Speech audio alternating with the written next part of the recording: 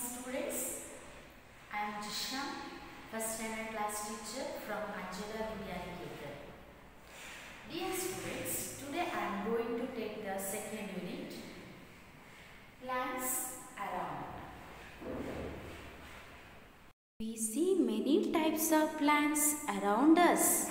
All plants do not have the same shape and size.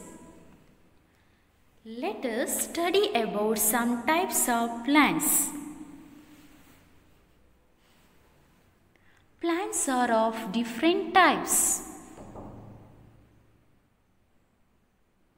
Big plants, small plants.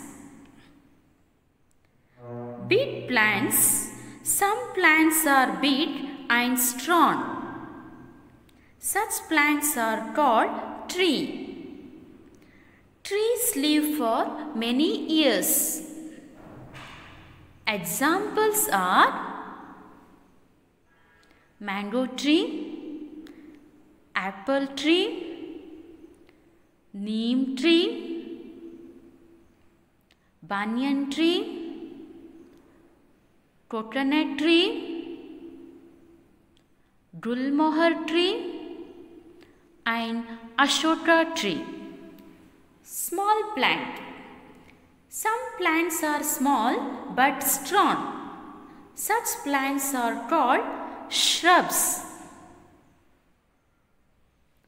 For examples, rose plant, sunflower plant, hibiscus plant. Some plants are small and weak. Such plants are called herbs. Mint and coriander are example of herbs.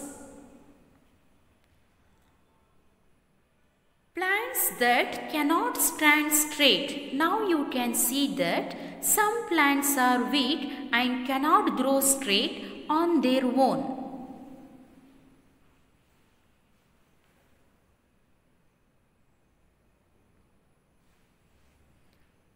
They need support to grow straight. Sometimes they take the support of sticks. Such plants are called climbers. For example, money plant, grapevine. Some weed plants grow along the ground. Such plants are called creepers such as pumpkin. Children, I hope all understood this lesson. Thank you.